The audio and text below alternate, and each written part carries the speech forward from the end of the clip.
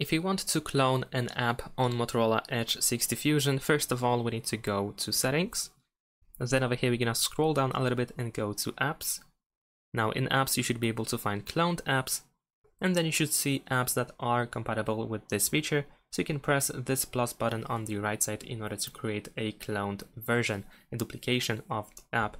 The app should be visible in the app drawer. Of course, this um, duplicated version has different settings than the main version, and that's pretty much it. However, some apps, only some apps are accessible over here, only certain apps can be cloned here. So if you want to clone pretty much any app, you can use the secure folder, which you can find by going to security and privacy settings. Then over here, scroll down to more security and privacy. And then here you should be able to find secure folder over here. There we go. Let's press continue, press these arrows and then log in select your Google account and press OK. Unlock your device.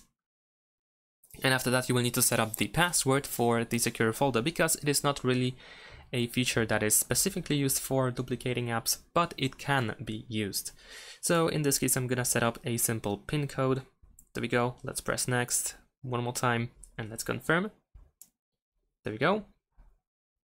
You can also use your fingerprint sensor in order to unlock the secure folder. Let's turn this on.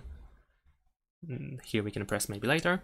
And now in order to create a cloned version, we can press this plus button in the bottom right corner and we can choose add apps in order to see the list of apps that we have installed on our phone. So let's say I'm gonna choose TikTok. Let's press this check. And there we go. Over here I have another version of TikTok. I have the main one still over here in the app drawer and the second version is in the secure folder over here. So this is how we can um, create duplicated versions. You can also go to the Play Store over here in the top right corner uh, if needed in order to install something, but this is how we can create two versions of the same app. Thanks for watching, leave a like and subscribe to my channel and see you in my next videos. Bye!